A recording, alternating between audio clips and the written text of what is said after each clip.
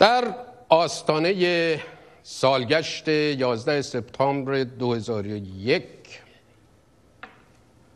حمله تروریستی به آمریکا. طالبان دوباره بر افغانستان مسلط شد. 11 سپتامبر 2001 روزی بود که القاعده به برج دوقلوی سازمان تجارت جهانی در نیویورک و به ساختمان پنتاگون در واشنگتن دی سی حمله کرد. حدود می‌خوام بگم چهار هزار نفر ولی بیش از اینها کشته شدند و ده ها هزار نفر زخمی و باعث شد که آمریکا به افغانستان که با القاعده همکاری می‌کرد افغانستانی که اون موقع طالبان حاکم بودند حمله کنه و حکومت طالبان رو ساقط کنه. حالا سیمای جمهوری اسلامی در ایران می‌گوید طالبان بعد از 20 سال مبارزه علیه آمریکا قدرت در افغانستان رو به دست گرفته. اینجا یکی از نقاط شهر کابل است. امروز نخستین روز حضور دوباره طالبان در شهر کابل هست. پس از اینکه 20 سال با آمریکایی ها جنگیدن و کشورهای عضو ناتو امروز وارد شهر کابل شدن. طالبان در شهر کابل در نقاط مختلف پست‌های ایست بازرسی دایر کردن و مردم هم در واقع در این در اینجا می‌بینید که دارن نگاه می‌کنن. کارهایی که طالبان دارن انجام میدن. طالبان در خودروها و همچنین در موتورسیکلت ها در شهر تردد می‌کنن. صبح شهر خیلی خلوت بود ولی الان دوباره داره برمیگرده به حالت قبل مثل روزهای قبل. انگار هیچ اتفاقی نیفتاده و اون هم در واقع خودروی پلیس افغانستان بوده. خب طالبان الان پرچم خودشون رو روش نصب کردن و به دقت ماشین ها رو بازرسی می‌کنن. مخصوصا با سارقان برخورد جدی دارن و همچنین به مردم هم میگن که امنیت اونها رو حفظ خواهند کرد جان مال اونها رو حفظ خواهند, حفظ خواهند کرد و من چیزی که می‌بینم اینه که یه برخورد خوبی هستش که طالبان با مردم دارن. بهنام یزدانی خبرگزاری صدا و سیما کابل. بله. این یکی از گزارش های سیمای آقایون که از طالبان طرفداری می‌کنه. چرا؟ چرا سیمای جمهوری اسلامی طرفدار طالبان است؟ بذارین اول یه گزارش هایی بدم بعد وارد این موضوع خواهیم شد. ببینید این تعریفی که سیمای جمهوری اسلامی از طالبان کرد حالا بعضی خیابونهای کابل رو ببینین. همین سه شنبه گذشته. دو روز بعد از تسلط طالبان بر کابل. بله. با سلاح جنگی آرپیجی و بازوکا اینا آدم ها رو گذاشتن سینه دیوار. بعد چهارشنبه یک روز بعد از این این تصویری که دارین می‌بینین طالبان گفتن که پرچم ملی افغانستان عوض خواهد شد. مردم تو چند شهر افغانستان با پرچم افغانستان راه پیمایی کردند. طالبان هم گرفتنشون به رگبار عده‌ای کشته و مجروح شدن. یک کلمه از این خبر که جهانی شد سیمای جمهوری اسلامی حرفی نزد. هنوز طالبان هنوز دولت مستقر نیست حکومت مستقر نیست. در ایران هم اینو اضافه کنم البته که تظاهرات در افغانستان همچنان که می‌دانید به ویژه در کابل همین پنج شنبه حتی به طور گسترده برگزار شد علیه حکومت طالبان و طالبان هم با خشونت تمام مقابله دارن می‌کنن. از جمله باز پنج شنبه دیروز عرض می‌کنم که شاید ویدیوهاش دیده باشین. من کمتر سعی می‌کنم خبر بگم در این برنامه با توجه به اینکه بینندگان این برنامه حتما به حال علاقمند به دانستان خبرهای پیرامونشون هستن و قبلا قبلا دیدن. باری در فرودگاه کابل می‌دانید که مردم رو به رگبار بستن طالبان روز پنجشنبه و کلی کشته شدن زن و مرد. در ایران دوشنبه و سهشنبه و پنج شنبه در تهران قوم اصفهان مشهد افغانستانی های مقیم ایران علیه طالبان و با شعار مرگ بر حامیان طالبان تظاهرات کردند و از جمله شعارشون این بود که ما امارت اسلامی افغانستان نمی‌خوایم. ببینید وقتی که به این عکس ها که از تظاهرات افغانستانی های مقیم ایران تو این چند روز گذشته که برگزار شد نگاه می‌کنیم می‌بینیم همشون جوونن زن و مرد. همه جوون یعنی نسلایی که آزادی انسانی و مدنی می‌خوان و طالبان آمدن دوباره ازشون پس بگیرن. مهمترین دستاوردی که بعد از دوره طالبان مردم افغانستان داشتند در 20 سال گذشته آزادی بیان برای کل مردم افغانستان آزادی رسانه ها و آزادی تحصیل و کار و پوشش به ویژه برای زنان بود. نخستین کنفرانس خبری سخنگوی طالبان در کابل دو روز بعد از تسلط بر پایتخت افغانستان برگزار شد. فرمودن همه آزادند. لاکن در چارچوب اسلام. و درباره حقوق زنان و حقوق زن و دستوراتی که ما دادیم امارت اسلامی که حقوق زن در دایره اسلام و در دایره شرع و مشروعیت محترم شمرده خواهد شد. و همچنین زنان در چارچوب حقوق اسلامی و شرع حق فعالیت خواهند داشت. همونجا درباره رسانه ها گفت به همه رسانه ها اطمینان می دهیم که آزادند اما باید بر اساس اصول فعالیت کنند. باید بیطرف باشند. اما اجازه ندارند علیه ارزش های ما نشر داشته باشند. نیویورک تایمز بعد از اشغال کابل به دست طالبان همین یک شنبه گذشته نوشت کسانی که در یک انفجار مدرسه دخترانه 90 نفر را کشتند یا 22 کماندو افغان را قتل عام کردند باز هم این روش را ادامه می‌دهند.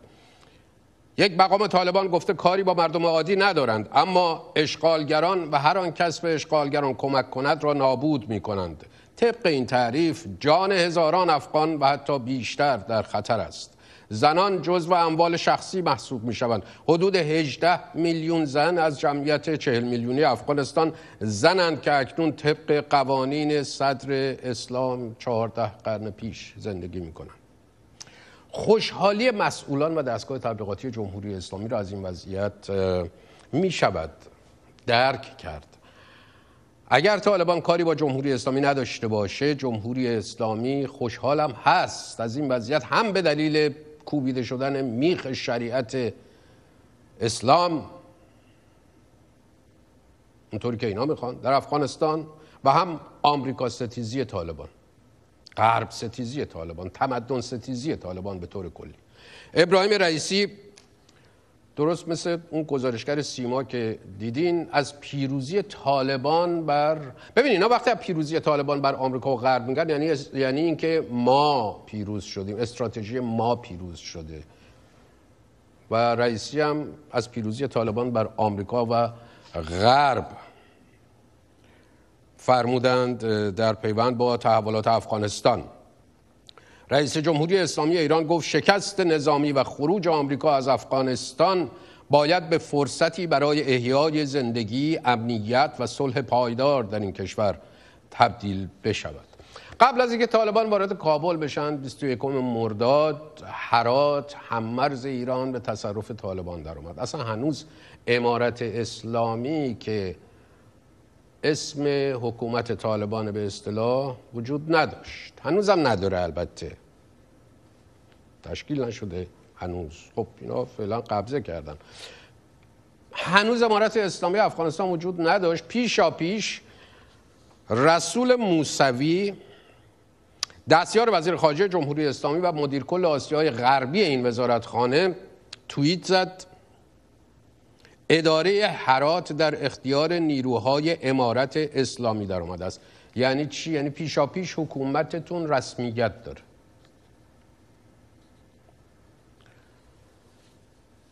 حسام رضوی مسئول بخش افغانستان خبرگزاری تصنیم و که از خبرگزاری های سپاه پاسداران میارن تو شبکه افقشون که اماریون مشتبه خامنه ای ادارش می‌کنن بگه طالبان هیچ وقت حمله نکرده. همیشه از خودش دفاع کرده. بگه اینا علیه اشغالگران آمریکایی مبارزه کردن پس خوبن. بگه وحشی بودن و تحجر طالبان اینا دروغ محصول تبلیغات رسانه‌ای غربه. و اگر مقاومتی بشود علیه طالبان این خواست آمریکایی هاست که می‌خواد افغانستان رو تجزیه کنه. ببینید درست مثل اصلاح طلبای جمهوری اسلامی که میگن مبارزه برای براندازی حکومت سوریهی شدن ایران را به دنبال دارد و ایران تجزیه می‌شود از این حرفا. پس باید طالبان در آرامش قدرت مستقر بشن. هیچ صحبتی از این نمیشه. نه تو رسانه های سپاه نه تو رسانه های دفتر رهبرشون کیهان که طالبان به حقوق انسان در قرن 21 چجوری نگاه می‌کنه. هیچ صحبت از تجربه حکومت طالبان حکومت پنج ساله طالبان نمیشه. از کشتار مردم مزار شریف و بامیان فقط به دلیل شیعه بودن و هزاره بودن نمیشه. حتی از قتل روزنامه‌نگارا و دیپلمات‌های خود جمهوری اسلامی در سال 77 1377 به دست طالبان صحبت نمی‌کنن. اینا روز خبرنگار درست کردن جمهوری اسلامی. روز خبرنگار درست کرد در سال روز کشته شدن یکی از خبرنگاراشون به دست طالبان. حالا اصلا یادشون رفته. چرا؟ این روز خبرنگاری که دارن مال کشته شدن سارمی در مزار شریف. خبرنگارشون در اونجا. چهار تا دیپلماتشون هم بودن اینا. خب. چرا؟ چرا؟ چرا یادشون رفته؟ چرا؟ چون همچنان رهبران القاعده در ایرانن و در پناه جمهوری اسلامی. چون طالبان هم مسلک و حامی القاعده است و اصلا عملیات 11 سپتامبر 2001 به دست القاعده و حمایت حکومت طالبان از القاعده باعث حمله نظامی آمریکا به افغانستان شد و سرنگونی حکومت طالبان. حالا در باز بر همون پاشنه می‌خواد بچرخه. استقرار حکومت طالبان تقویت القاعده تضعیف شده در افغانستان باجگیری جمهوری اسلامی از غرب با سوء استفاده از اوضاع افغانستان. رسانه میاد برای تقابل با طالبان فقط شیعه رو مطرح می‌کنه و تلاش می‌کنه. در میدان همین اتفاق میفته یعنی ما به این آگاهی می‌رسیم که برخی از بزرگان شیعه رو آوردن و تسلیح می‌کنن و میگن برید بسیج مردمی کنید بجنگید با طالبان. نتیجه این اتفاق چیه؟ من دارم اینجا رد میشم با شما کاری ندارم. شما اگه دست به سلاح بردی به طرف من تیراندازی کنی من حتما به طرف شما تیراندازی می‌کنم. یکی از ما یکی رو از بین می‌بره دیگه. این نتیجهش اینه که تعداد زیادی از دو طرف کشته میشن که یک طرف شیعیانن ولی بعدا این برداشت نباید اتفاق بیفته که شیعه کشی داره میشه. نکنید همین الان من دارم به عنوان یک هشدار در واقع میگم که جنگی بین شیعه و سنی جنگی بین شیعه و طالبان وجود نداره در افغانستان نه الان نه در گذشته. یعنی هر چی بوده در میدان نبرد اتفاق افتاده. اینکه برن مردم از خونهشون بکشن بیرون اینکه قبور رو خراب کنن اینکه مرقدا رو خراب کنن اینکه این اتفاقات بیفته مجالس رو بدن این اتفاقات نبوده. خود رهبرتون در 23 شهریور 77 وقتی کشتار مزار شریف به دست طالبان انجام شد بیانیه داد. جنایات بیانیه رهبر جمهوری اسلامی است در سال 77 جنایاتی که اندکی پیش از این در شهر مزار شریف به دست قشون ظالم و سنگدل طالبان اتفاق افتاده یعنی کشتار وسیع مردم غیر نظامی و به شهادت رسانیدن جوانان پاک و مؤمن ایرانی که در مشاغل سیاسی و خبری به انجام وظیفه مشغول بودند در نوع خود فاجعه ای بی‌نظیر بود که باید دولت ها و ملت های مسلمان را به حرکتی جدی در برابر این قوم متعصب وحشی و بیگانه از تعالیم نورانی اسلام و بیخبر از قوانین عمومی جهان برمیانگیخت. این قتل عام حقیقی مردمی است که با وجود فقر و محرومیت و محاصره طولانی توانستن شجاعانه از شرف و حیثیت خود دفاع کنند. اینا رو خامنه ای بیانیه داد 23 شهریور 77 خب؟ چرا؟ می‌دونیم که تجربه مسلمان های چین و روسیه سرکوبشون و کشتارشون چین و روسیه متحدان جمهوری اسلامی هند. ولی سرکوب محدودیت تبعیض علیه مسلمانای اون کشورها نشون داده که خامنه ای از کشتار هزاره ها در افغانستان هم حرفی نمی‌زدم اینطور که درباره اونها هیچ وقت حرف نزده. اگر تروریست حرف نزده چه؟ اصلا جمهوری اسلامی کاری نداره. به آنچه مثلا به مسلمانان در چین میگذره. در این باره هم حرفی نمی‌زد. اگر تروریستای جمهوری اسلامی که به نام دیپلمات در کنسولگریش در مزار شریف بودن به دست طالبان کشته نمی شدن. کشتار طالبان در مزار شریف در سال 1377 وقتی که شما به روایتاش گوش می‌دید به داستانهایی که اتفاق افتاده به افرادی که نجات یافتن وقتی گوش میدین شما رو یاد روایت هایی میندازه که از کشتار زندانیان سیاسی دهه 60 در ایران شنیده ایم یک گزارشی ببینیم از همکار گلم آقای مهدی مهرائین در صدای آمریکا ایشون کار می‌کنن. ایشون از اعدام طالبان در مزار شریف در سال 77 جان به در برده. ببینیم این گزارش رو برگرد.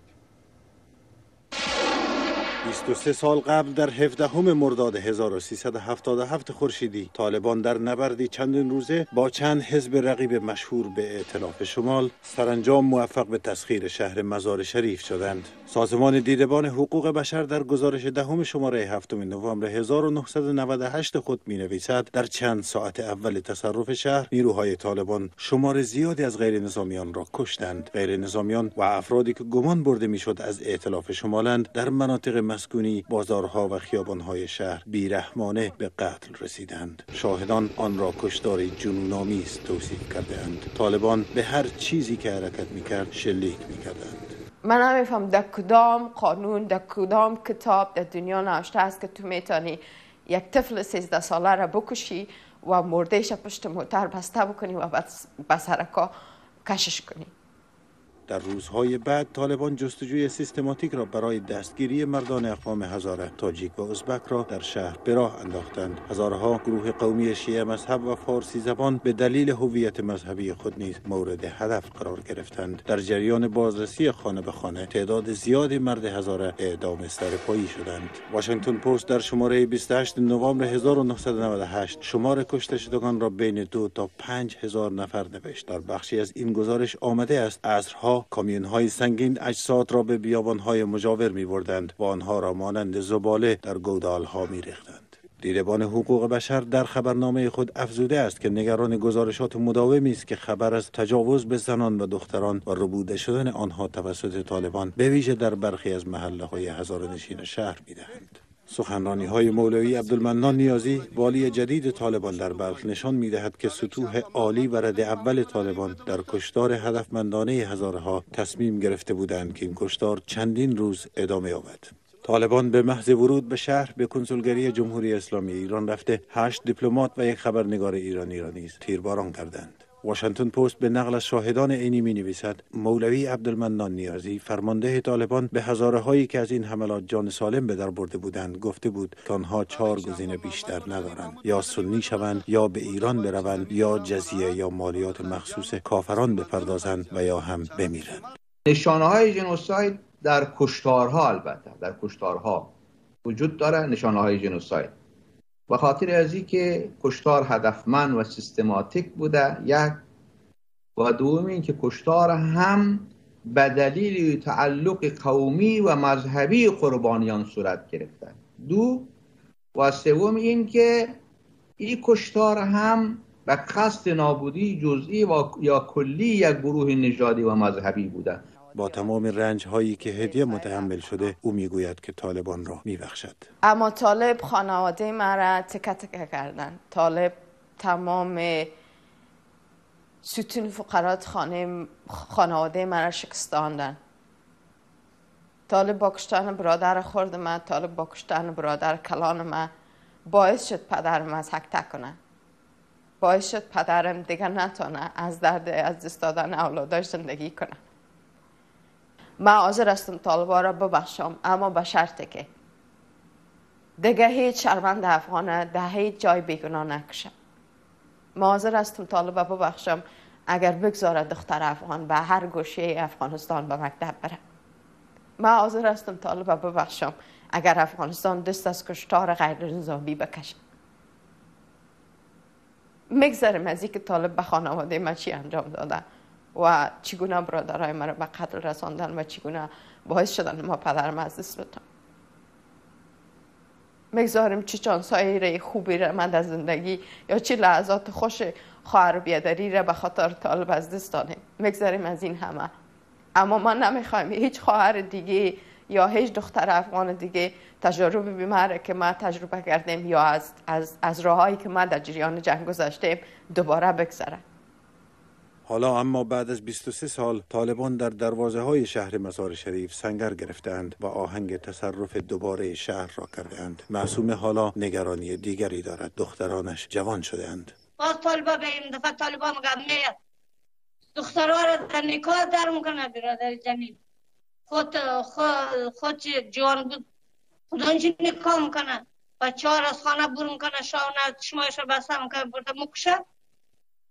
آن زن بچه همین در خانه مومنه دیگه. این گزارش البته قبل از اشغال مزار شریف به دست طالبان در همین چند روز پیش اتفاق افتاد که وارد شهر شدن دیگه. کامل گزارشی رو که دیدید این بخشی از گزارش بود کاملش رو می‌تونید روی وبسایت صدای آمریکا ببینید. ببینید درباره جنوساید نسل کشی اگر جهان رسما بپذیرد که طالبان در مزار شریف در سال 1177 نسل کشی کرده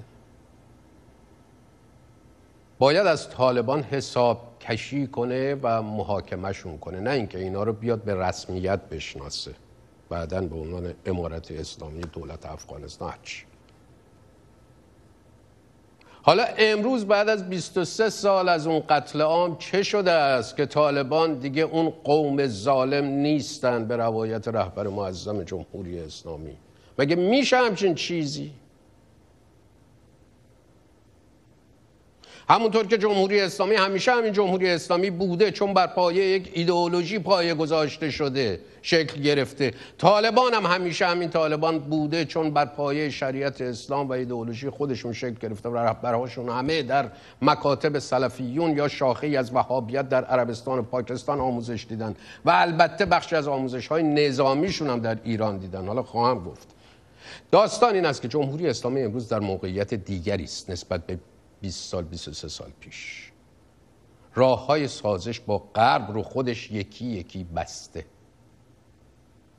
و حالا فقط دنبال همجب هست با خودش علیه غرب و مشخصا آمریکا. و تا می‌تونه از این موقعیت برای باجخواهی استفاده خواهد کرد. تا می‌تونه. تصادفی نیست که همین فعالیت های هسته که به سمت ساخت سلاح اتمی داره میره در این چند هفته گذشته سرعت چون سرعت گرفته که همه حیرت کردن. همین دوشنبه پیش آژانس بین المللی انرژی اتمی اعلام کرد جمهوری اسلامی 200 گرم فلز اورانیوم که برای ساخت سلاح اتمی به کار میره تولید کرده و سری دوم آبشار تولید اورانیوم غنی شده 60 درصدی رو فعال کرده و داره تولید می‌کنه. یعنی گامی نمونده تا تو این تو این بلبشوی افغانستان و آه. و میگم سو استفاده از این موقعیت که این تحلیل مستقل و مفصلی می‌خواد که با کشورهای دیگه چگونه کار می‌کنه جمهوری اسلامی در جهت سو استفاده از این موقعیت. باری قدرت گرفتن مجدد طالبان از خیلی وقت پیش از این دو سه هفته گذشته از خیلی وقت پیش در جمهوری اسلامی دنبال می‌شد و جمهوری اسلامی بخشی از این برنامه بود. دقت بفرمایید. بخشی از این برنامه بود جمهوری اسلامی. تیر ماه 1397 اسماعیل قانی قائم مقام قاسم سلیمانی فرمانده نیروی قدس سپاه پاسداران به اسم دیپلمات جمهوری اسلامی و کاردار سفارت میره بامیان و با ادهی که افشا نشده و با تاهر زهیر که اسمش دارین دیدین یعنی الان که بالی بامیان بود ملاقات می‌کنه. همه مسئولان افغانستانی از جمله همین والی بامیان بعدا گفتن اصلا اینو که ما شخصا نمیشناختیم به ما گفته بودن که این دیپلمات و کاردار سفارت خب خبر این سفر یک سال نیم بعد نزدیک دو سال بعد فاش شد. در یازدهم بهمن 98 قادر کامل تحلیلگر مسائل ایران و افغانستان به ایران وایر می‌گوید که سفر اسماعیل قاانی پیچیده و در عین حال خلاف و عرف دیپلماتیک و موازین پذیرفته شده در عرصه خارجی بوده است. قاانی که الان فرمانده نیروی قدس دیگه بعد از کشته شدن سلیمانی این شد فرمانده. اسماعیل قاانی به بامیان می رود و بعد از نزدیک دو سال افشا می شود این نشان می دهد که بیشتر اهداف اقتصادی و استخباراتی یعنی اطلاعاتی امنیتی در پشت سفر قاانی نهفته بوده است. حوادث و رویدادهای مشابه مانند سفر اسماعیل قاانی به ولایت‌های دیگر افغانستان نیز رخ دادند. افراد استخباراتی با لباس دیپلمات و کارمند سفارت ایران به برخی از استانها و شهرستانها سفر می کنند هدف این سفرها سرمایه گذاری بر نیروهای نیابتی یعنی طالبان و جنگجویان لشکر فاطمیون است که می تواند خطرناک باشد. قاانی قبل از اینکه بشه فرمانده نیروی قدس معاون قاسم سلیمانی و فرمانده قرارگاه انصار بود که تو خراسون و حوزه فعالیتش افغانستانه. یعنی سالها خودش در جریان این مسائل بود. همون موقع که عرض کردم معاونش بود معاون سلیمانی بود و نیروی قدس الان که فرمانده شده همون موقع می‌رفت افغانستان به این صورت پنهانی و قبازانه و می آمد وال استریت جورنال در تیر ماه 94 از قول عبدالله یکی از فرماندهان نظامی طالبان نوشت ایران هر گونه حمایتی از ما می کند و هر چه بخواهیم در اختیاریمان می‌گذارد. این فرمانده به وال استریت جورنال گفته بود که ماهانه 580 دلار از ایران مزد می‌گیرد. تو افغانستان 580 دلار ماهانه پول کمی نیست برای. آ... کمک به طالبان و همکاری با طالبان برای مقابله با آمریکاست یکی از دلایلشه. لاقل میشه گفت دلیل اصلی است هفتم مرداد 1394 دولت افغانستان اعلام کرد که ملا عمر رهبر فراری طالبان در بیمارستانی در کراچی درگذشته. طالبان هم خبر مرگ ملا عمر رو تایید کرد و اعلام کرد که رهبر طالبان ملا اختر منصور است.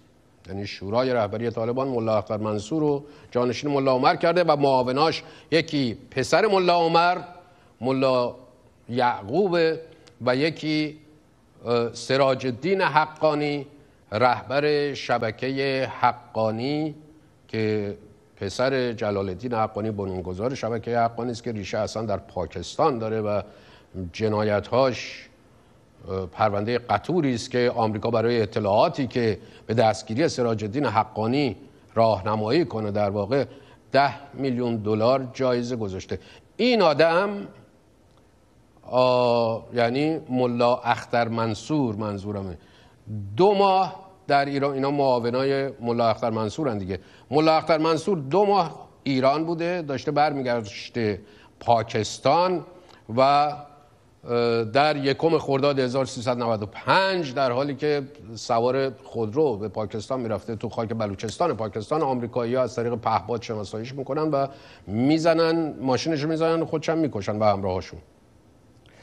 بعد از ملا اختر منصور رهبر طالبان می شود یا به قول خودشون امیرالمومنینشون میشه هبت الله آخونزاده که ایشون هنوز در قید حیات تشریف دارن. هبت الله آخونزاده در دوره حکومت طالبان در افغانستان و بعد از اون قازل غزات طالبان بوده و خب خیلی از احکام قتل و قارت و جنایت طالبان رو او صادر کرده. خمینی طالبانه خلاصه. با آخونزاده هم مثل قبلی ها شبکه حقانی بیعت کرد و پسر ملا عمر هم همچنان در عضویت شورای رهبری طالبان هست و معاون اوست. اخبرني امیر المؤمنین حضرت علامه هبت الله اخونزاده صاحب سره بیعت کو زموږ د ټولو بیعت دی لاسونه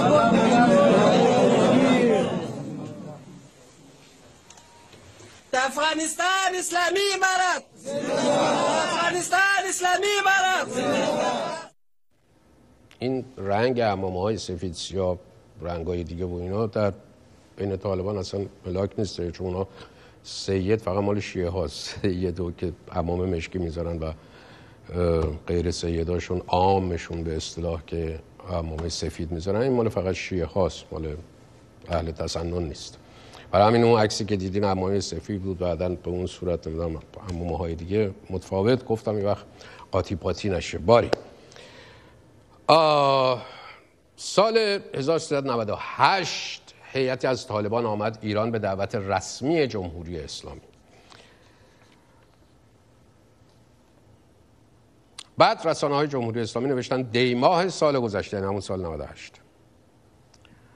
هم بعد از سفر علی شمخانی دبیر شورای عالی امنیت ملی به افغانستان هیئتی از طالبان با سفر به تهران با مقامات کشورمان رایزنی کردند. بهرام قاسمی سخنگوی وقت وزارت خارجه در آن مقطع اعلام کرد که این مذاکرات با اطلاع دولت افغانستان انجام شده و اهداف آن هم مشخص است. اما صدیق صدیقی سخنگوی اشرف غنی رئیس جمهور افغانستان رئیس جمهور فراری افغانستان. در پیامی توییتری ضمن معرفی طالبان به عنوان تهدید کننده صلح و امنیت جهانی از میزبانی این گروه در تهران انتقاد کرد. یعنی حتی سر دعوت یا دعوت نکردن و اینها اطلاع داشتن دولت افغانستان اون موقع یا نه حتی در این هم اختلاف بوده است. باری شمخانی دبیر گمارده خامنه ای در شورای امنیت شورای عالی امنیت ملی جمهوری اسلامی است. بعد از دیدار دوم با طالبان در دوم بهمن 99 در تهران نوشت در ملاقات امروز با هیئت سیاسی طالبان رهبران این گروه را در مبارزه با آمریکا مصمم دیدم. کسی که 13 سال در گوانتانامو زیر شکنجه های آنان بوده مبارزه با آمریکا را کنار نگذاشته است. یکی دو نکته دیگه هم خدمتتون عرض کنم بعد بریم خدمت مهمان محترم برنامه. فرصت داریم که من درباره افغانستان هم نقشه افغانستان و اینها هم اشاره های عرض کنم خدمتتون. یازدهم تیر 97 تایمز نوشت سپاه پاسداران ایران به بهترین های طالبان آموزش نظامی می‌دهد. یکی از مشاوران سیاسی طالبان در شورای آن گروه در کویته پاکستان می‌گوید ارائه آموزش توسط ایرانی ها با دو درخواست همراه بوده است. اینکه ما باید بر انجام حملات علیه منافع آمریکا و ناتو در افغانستان تمرکز کنیم و همچنین نیروی بیشتری را برای حمله علیه داعش به کار بگیریم. جمهوری اسلامی این جوری که یکی از مشاوران سیاسی طالبان به تایمز گفته است جمهوری اسلامی گفته دو شرط داریم. برای اینکه شما نیروهاتون رو بیارین آموزش ببینین. داخل ایران سپاه بهشون آموزش بده. یکی اینکه متمرکز بکنید نیروهاتون رو علیه منافع آمریکا و ناتو در افغانستان و یکی دیگر اینکه مبارزتون حمله هاتون علیه نیروهای داعش در افغانستان بیشتر بکنید. به گفته این مشاور 38 ساله طالبان که نخواست هویت خود را فاش کند مذاکرات تهران و طالبان برای اعزام پیکارجو به ایران جهت دریافت آموزش از نیروهای ویژه نظامی ایران بهار 1397 آغاز شد. هنگامی که پرزیدنت ترامپ برای اعلام خروج آمریکا از برجام آماده می‌شد. به گفته این عضو ارشد طالبان طالبان بهترین و کارآمدترین نیروهای جوان خود را در قالب گروه های کوچک به ایران فرستاد که با مقام های ارشد نظامی دیدار و به اردوگاه های آموزشی منتقل کنند. 13 بهمن 99 طالبان در نشست خبری در تهران اعلام کرد. طبق توافق با آمریکا دولت فعلی افغانستان منحل می شود و حکومت همه شمول اسلامی در افغانستان تشکیل خواهد شد. خب. منظورم این است که قراری که در دیدار آقای پومپو وزیر خارجه دولت ترامپ با اگر اشتباه نکنم ملا برادر در واشنگتن گذاشته شد. همینی بود که و بعد خب اجرا شد خروج نیروهای آمریکا از افغانستان و ادامهش هم رسید به دوره آقای بایدن.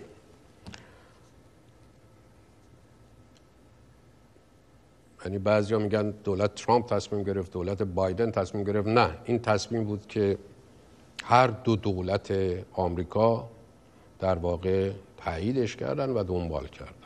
خب بذاریم بریم خدمت مهمان محترم برنامه تا بعد ببینیم چی میشه. در خدمت آقای مختار وفایی هستیم روزنامه نگار افغانستانی مقیم سوئد. آقای وفایی دو سه سالی که از افغانستان خارج شدن قبلا در افغانستان با روزنامه هشت صبح و روزنامه جامعه باز کار می‌کردند. برای دوچه آلمان و چند رسانه محلی می نوشتند کتابی از ایشون به زبان سوئدی منتشر شده با عنوان این خون نشانی از خشم خداست که سرگذشت آقای مختار وفایی است از کار در ایران و حبس شدن در اردوگاه سفید سنگ در نوجوانی 14 15 سالشون بود اون موقع. آقای وفایی سال 1395 که خبرنگار روزنامه هشت صبح بودن در افغانستان یعنی برگشتن از ایران باز با افغانستان عنوان خبرنگار سال افغانستان رو گرفتن به دلیل انتشار گزارش‌هاشون درباره سوء استفاده مقام‌های ارشد دولتی از امکانات دولت برای استفاده شخصی. خوش آمدید آقای وفایی عزیز به امشب صفحه آخر. من از رهبران طالبان در دوره حکومتشون و حتی در این دوره مبارزهشون برای قبضه مجدد قدرت چیزی نگفتم در گزارش. نخستین پرسش همین است که برای اینکه بشناسیم بیشتر اینا رو که آیا کسانی هستند که امروز همچنان در رهبری طالبان باشند و در سال 1375 تا 1380 هم در حکومت طالبان بر افغانستان حضور داشته بوده اند؟ با درود احترام به شما آقای فلاحاتی و دوستان شنونده و بیننده. دقیقا شورای رهبری طالبان را که امروز تا قبل از امروز به شورای کویت مشهور بود و فعلا یک در کابل آمده یک در قندهار و ایده دیگه هم در دوحه و در هنوز در بخشای دیگه از پاکستان مستقر هستند یعنی نقش های کلیدی را فعلا در گروه طالبان کسانی به عهده داره که همرزم و همگام ملا عمر بود. و در واقع از اساس گذاران و بنیانگذاران گروه طالبان است و از افراد مورد اعتماد ملا عمر در تاسیس گروه طالبان بود. همین ملا برادر که فعلا در واقع رهبری هیئت سیاسی طالبان را به عهده دارند. عباس استانگزی که معاونت رهبر سیاسی گروه سیاسی طالبان را به عهده دارند. مولوی حنفی که از آدرس ازبک ها در هیئت رهبری طالبان هست.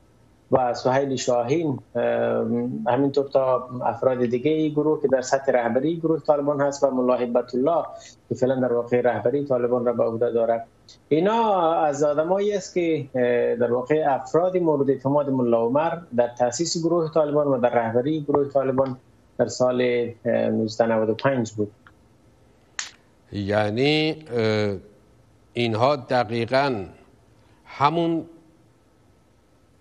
کسانی هستند که جنایت ها در دوره پنج ساله حکومتشون رو بر افغانستان انجام دادن. حالا اصلا کاری نداریم به انفجارها بمبگذاری ها دختر بچه کشتن ها مدرسه کشتن ها این اینا رو کاری نداریم در این 20 سال گذشته. ولی یعنی اینا دقیقا همون کسایی هستن که در پنج سال حکومت مرتکب نسل کشی از هزاره ها شدن مرتکب جنایت های دیگر مرتکب درست عرض می‌کنم؟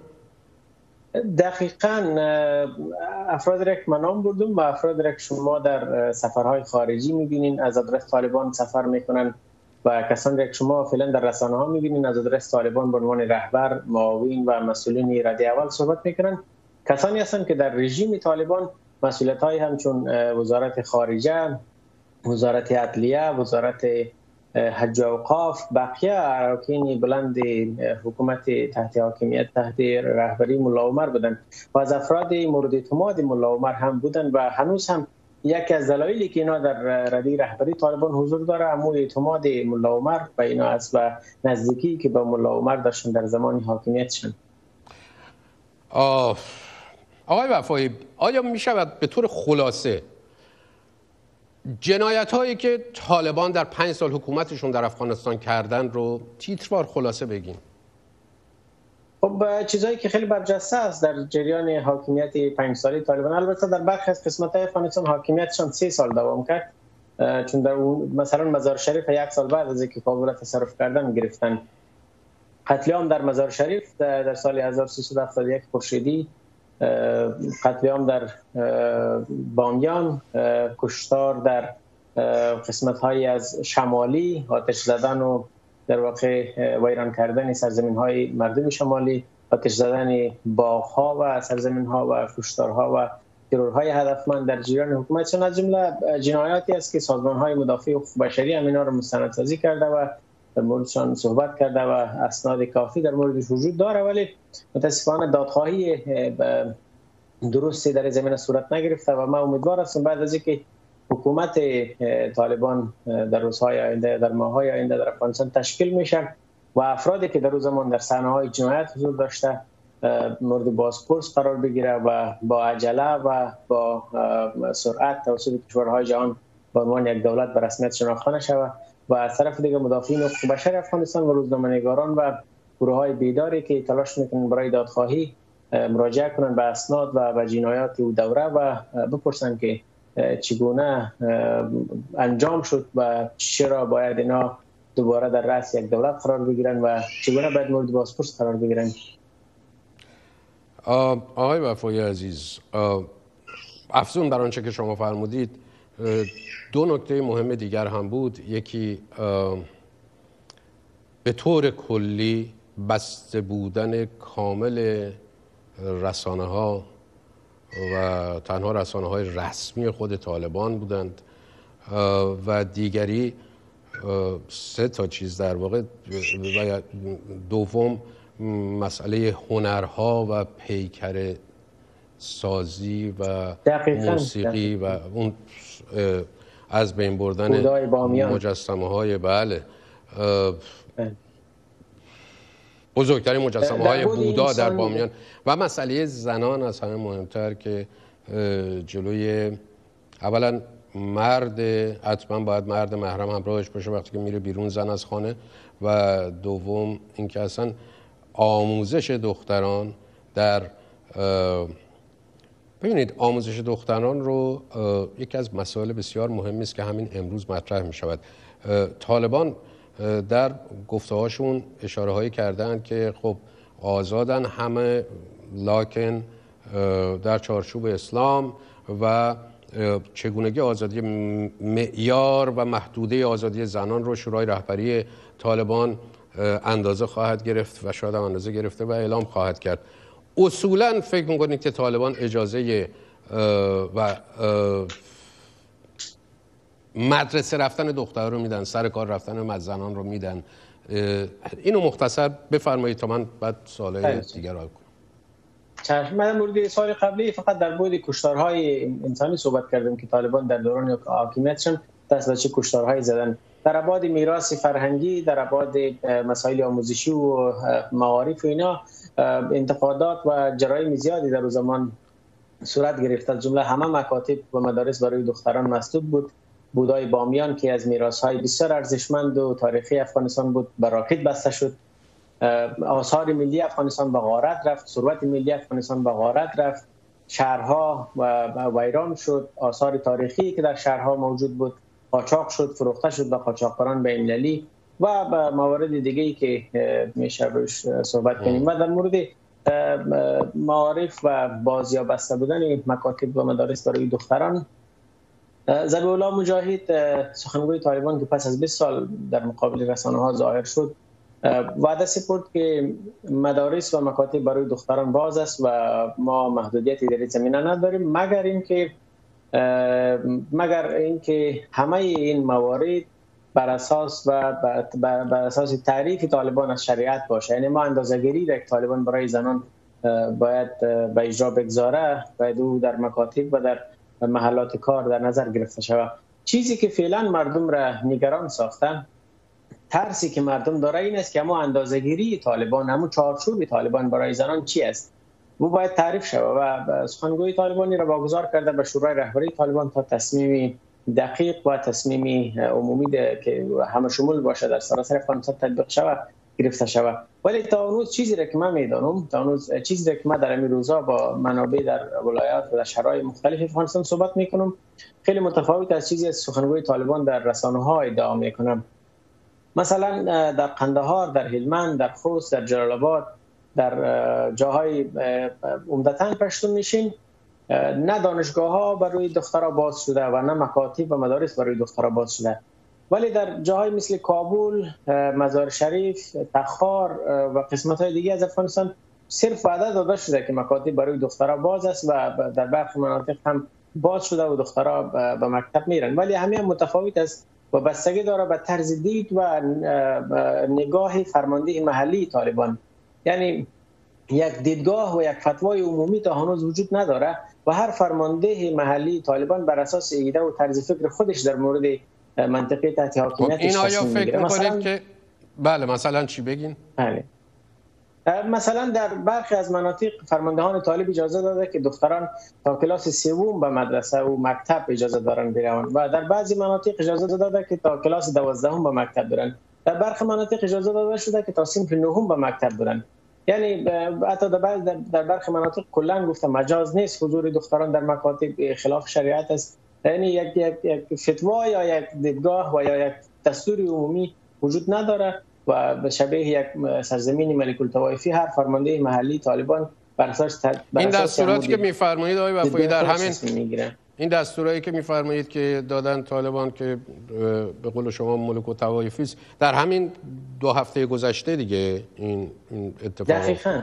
خب یعنی اینکه بله یعنی اینکه بعد از استقرار حکومتشون اینها قطعا یک پارچه خواهند کرد هر کاری بخوام بکنن.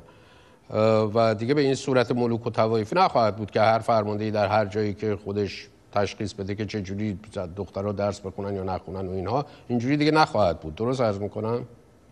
خب این به صورت قطعی نمیشه گفت. به دلیل اینکه مثلا دیروز الله مجاهد بعد از اینکه عفو عمومی اعلان شد توسط طالبان به مردم وعده داد که هیچ مقام و کارمند پیشین حکومت مورد بازخواست و بازپرس و شکنجه قرار نمی‌گیره. ولی ما ما و بقیه خبرنگاران ده ها شکایت و ده ها مستند دریافت کردیم که جنگجوهای طالب در هر کوچه و پس کوچه به میل خودش وارد خانه مردم میشه افراد را تلاشی می‌کنه و با وجودی که مردم نشان میده فرمان عمومی طالبان که خوب این در رهبری شما این فرمان را صادر کرده ولی کسی خیالش به او نیست که رهبری چی دستور داده. یعنی یه چیزی اینا میان یه چیزی اینا میان جلوی دوربین میگن ولی عملا در عمل در واقع کار دیگر می‌کنن.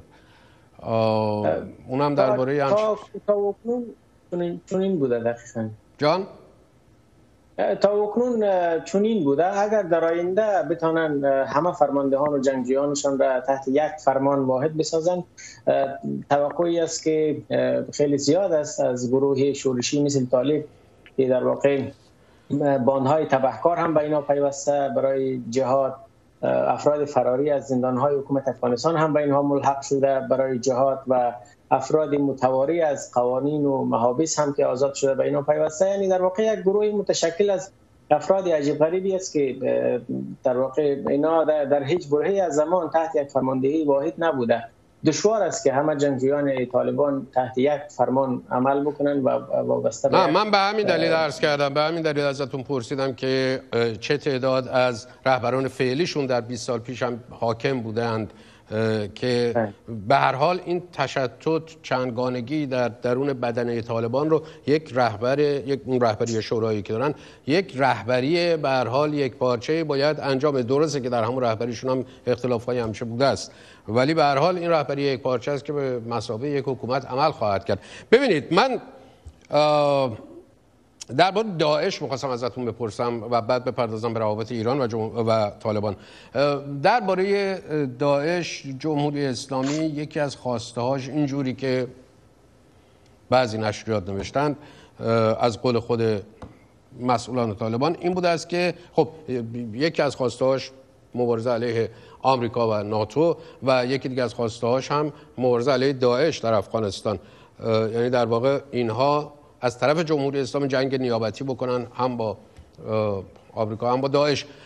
اصولا تفاوت طالبان با داعش چیه؟ آقای وفایی و آیا داعش در افغانستان این خطر رو دارد برای مثلا طالبان یا برای جمهوری اسلامی یعنی اینقدر نیرومند هست که یکی از مراکز مبارزه مثلا جمهوری اسلامی با داعش مثلا باشه تو افغانستان. به حال چقدر فرق می‌کنه اینا با طالبان مگه؟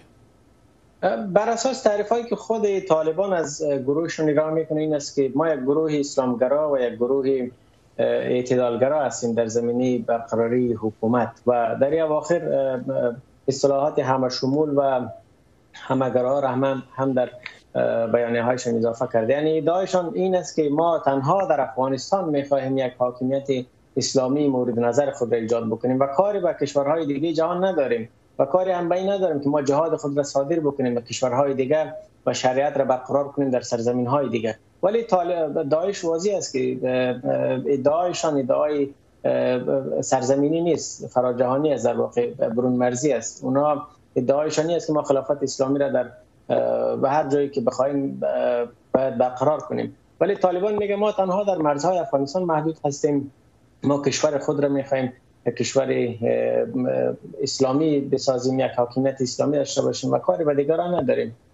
یکی در این زمینه اینا تفاوت دارن و تفاوت دیگه ایشان است که طالبا پیرو دیدگاه حنفی است. ولی داعش یک قدم جلوتر بیشتر یعنی 100 درصد وابسته به دیدگاه وهابیت و سلفی گرایی است. و به این دلیل هم افرادی که در درون گروه طالبان دیدگاه سلفیستی و وهابی وهابیت دارند در سالهای اخیر با داعش ملحق شده. چون مرام خود را آینده خود را در برنامه طالبان نمی‌دید. مثلا همی حافظ سعید که ولایت خراسان داعش را در افغانستان تاسیس کرد. از افراد پیشین طالبان بود. طالبان پاکستان که با طالبان افغان هم همکاری داشت. یا مثلا مولا نعمت الله که در شمال افغانستان در سال 2017 داعش تاسیس کرد و در ظرف شش ماه است که حدود 500 جنگجو را جذب بکنه. ازبک بود ازبک تبار بود در ولسوالی قشتبه ولایت جوزجان. این از فرماندهان ارشد طالبان بود. ولی بر اساس دیدگاهایش که وابسته به جریان های سلفی و وهابیزم بود نتونست با طالبان کنار به بالاخره شبکه داعش تاسیس کرد. آنچه که جمهوری اسلامی از این لحاظ داره با هم از لحاظ فکری. آنچه که بنابراین اینجوری نتیجه می‌توان گرفت. لاقل من این نتیجه رو می‌گیرم که آنچه که برای جمهوری اسلامی خطرناکه همون ایدئولوژی به اصطلاح جهان شموله. یعنی فراسرزمینیه. داعشه که جمهوری اسلامی از در واقع موجودیت خودش میترسه در حالی که طالبان فراز از سرزمینی نیست نگاهشون به حکومت. خب ببینید من اشاره هایی کردم به تاریخچه روابط جمهوری اسلامی و طالبان. شما بفرمایید که نقش جمهوری اسلامی در دوباره به قدرت رسیدن طالبان چه بوده؟ خب طالبان پس از این که در سال 2004 یا 2005 بعد از فروپاشی دوباره خودشان را منسجم ساختن و حملات چریکیشان را بر علیه حکومت افغانستان شروع کردن شعارشان مبارزه با تهاجم و اشغال بود و رهبری تهاجم و اشغال را هم به تعریف طالبان آمریکا به عهده داشت. پس آمریکا به عنوان دشمن درجه که طالبان در افغانستان تعریف شد و سربازان و منصوبان آمریکایی هم به عنوان اهداف نظامی درجه یک در افغانستان تعریف شد. چیزی را که ایران هم مخالفش نیست بالاخره به عنوان دشمن آمریکا به عنوان دشمن ایران مطرح است. در هر جایی که است و حضورش در هر جایی که باشه مخصوصا در همسایگی ایران به عنوان دشمن تلقی میشه این دشمنی مشترک باعث شد تا ریشه ارتباط بین ایران و طالبان آغاز شود و در سالهای اخیر مستحکم شود. مثلا در سال 2017 تا 2019 تا 2020 ادعای وجود داشت که ایران برای کشتن سربازان امریکایی و طالبان پاداش داده. و همچنان روسیه برای کشتن هر سرباز امریکایی توسط طالبان پاداش بسیار هنگفتی تعیین کرده. یکی از نمونه ها نمونه های دیگر شورای مشهد است. شورایی که رهبران طالبان یک بخش از فرماندهان طالبان را در زاهدان تحت پوشش قرار داد. هرچند حکومت ایران هیچ ای را تایید نکرد ولی برخی منابع امنیتی افغانستان در روز زمان و منابع در درون طالبانی مسئله را به رسانه های خارجی از جمله وال جورنال تایید کرده بود. و اعزام جنگجوهای طالب برای آموزش در زاهدان که در واقع از طریق مرز زمینی و تجهیز جنگجوهای طالب توسط نظامیان ایران و تسلیحات ایرانی که در ایران تولید میشه و ایزام فرستاده می‌شد برای جنگ در صفوف طالب در ولایت جنوب و غرب افغانستان. از جمله شواهد محکمی بود که نشان می‌داد حکومت ایران در پشت طالبان است. به عنوان یک حامی و هدف اساسی حکومت ایران هم واضح است که ضربه زدن به آمریکایی ها از هر طریق ممکن آقای وفایی حالا ما درباره کمک های پاکستان به طالبان صحبت نمی کنیم توی این برنامه فرصتی هم نداریم. موضوع برنامه هم نیست. من فقط اینو خدمت بینندگان عزیز عرض کردم وگرنه نقش پاکستان در شکلگیری منظور من ایران بود. بله بله. نقش پاکستان در نه منظورم درباره ایران. نقش پاکستان که از هر من الشمس است. ببینید یکی از مسائل مربوط به افغانستان و مشخصا طالبان مرزهای مشترک افغانستان با ایران مسئله قاچاق مواد مخدر تریاک اینها که ایران رو تبدیل کرده اصلا به ترانزیت اروپا. تو خبرها میخوندم که سخنگوی طالبان گفته ما به دنیا تضمین میدیم که جلوی کشت قشقاش و انتقال محموله های مواد مخدر رو بگیریم. این اصلا ممکنه و اینو چگونه؟ این موضوع مهمه در واقع اقتصاد طالبان رو و مناسبات با ایران چگونه می‌بینید؟ بله بر اساس دریافت های سیگر سازمان تحقیقی که از طرف ایالات متحده در افغانستان کار می‌کرد 60 درصد درآمد طالبان و 60 درصد هزینه طالبان از طریق کشت خرید و فروش و قاچاق مواد مخدر تامین میشن. آید سالانه طالبان تا سال 2020 از طریق مواد مخدر سالانه 400 میلیون دلار بود. و چیزی که گروه طالبان را به عنوان یک گروه شبه نظامی مقتدر در افغانستان بالا آورد آید هنگفتشان از طریق مواد مخدر بود. در زمان حاکمیت گروه طالبان تحت حاکمیت ملا عمر در افغانستان از سال 1996 تا 2001 کشت خرید فروش و قاچاق مواد مخدر شرعا مجاز بود.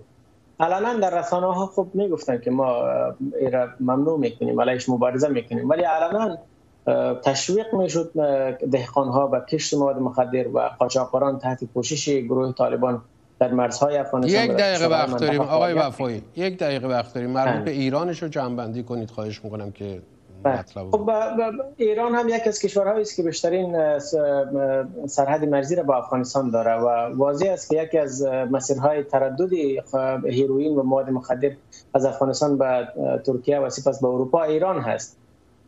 و در سالهای اخیر منابع در رسانه ها از آدرس حکومت ایران و از آدرس طالبان این تایید کرده بودند که محموله های مواد مخدر در هماهنگی با فرماندهان و قاچاقبران وابسته به طالبان و فرماندهان نظامی ایران تردد می‌کنه به ترکیه و سپس محموله ها به سرزمین های اروپایی ارسال میشه. خب یک یعنی کلمه. سخنگوی طالبان یک کلمه وقت چون نداریم. یک کلمه.